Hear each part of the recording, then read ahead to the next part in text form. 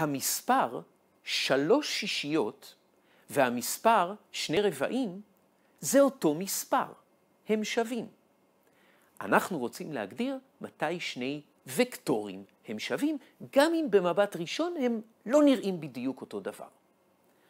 אז בואו נדבר על שוויון וקטורים.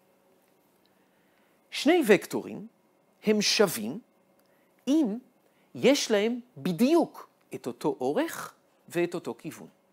ככה הגדרנו וקטור. וקטור נקבע על ידי אורך וכיוון. אז שני וקטורים שיש להם אותו אורך ואותו כיוון, הם שווים.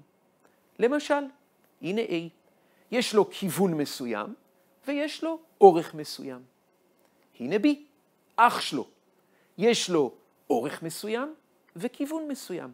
אם תסתכלו טוב, אתם יכולים להוציא סרגל ולמדוד ולהסתכל בול, ל-A ול-B יש אותו אורך, ויש להם אותו כיוון.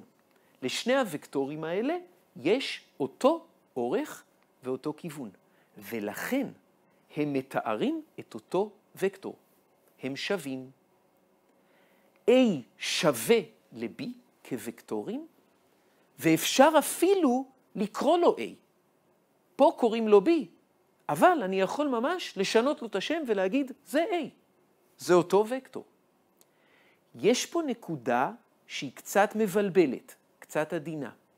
תשימו לב ש-A הזה ו-A הזה, זה אותו A, אבל הם מצוירים במקומות שונים. אבל זה לא משנה, זה אותו וקטור, כי יש לו אותו אורך ואותו כיוון. אז אני מדגיש את זה, צריך להתרגל לזה, ולפעמים זה אפילו מבלבל.